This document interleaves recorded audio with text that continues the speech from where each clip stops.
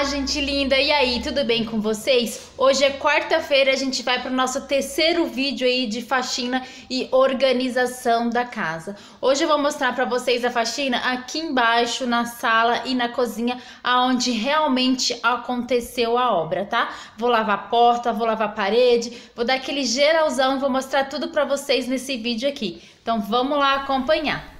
Então, pessoal, eu comecei então lavando as portas de vidro, tanto a porta aqui da cozinha por fora e depois lavei por dentro. Daí, quando eu terminei de lavar essa porta, fui lá para a porta da sala, que é igual a essa daqui. Lavei também por fora, lavei por dentro, as duas portas da sala. Aí depois eu fui lavar aquela parede de revestimento que ficou na sala de jantar. E, gente, eu sei que muita gente fala, ai, que aflição, Carla, você nessa sacada, sem parapeito, sem nada. Gente, se não fosse seguro, se eu visse que ia ter risco de eu cair lá embaixo, eu jamais iria ali. Então, eu tô fazendo algo que eu sei que eu não vou cair lá embaixo. Mas em breve, se Deus quiser, a gente vai colocar aí é, o parapeito em todas as sacadas dessa casa. Mas pode ficar tranquilo, gente, que não corre risco nenhum de eu cair lá embaixo. E no dia a dia a gente não vai lá, tá? Só assim caso que realmente a gente precise estar indo lá, ok?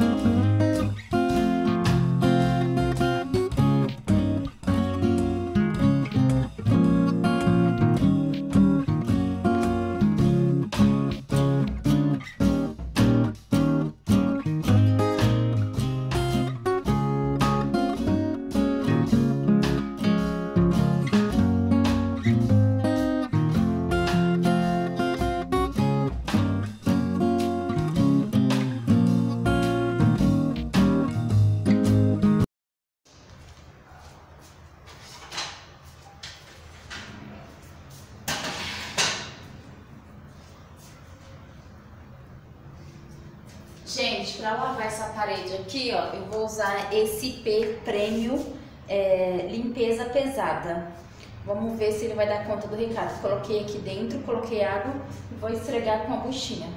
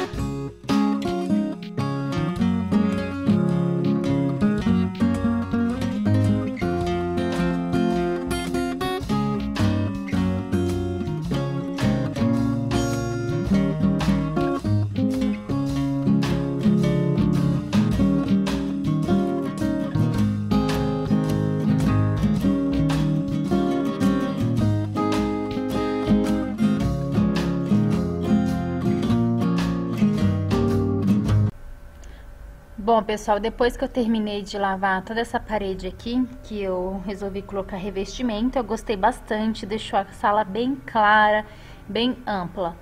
Eu, como eu falei pra vocês, usei o limpeza pesada da IP e água, bastante água e com a mangueira para facilitar.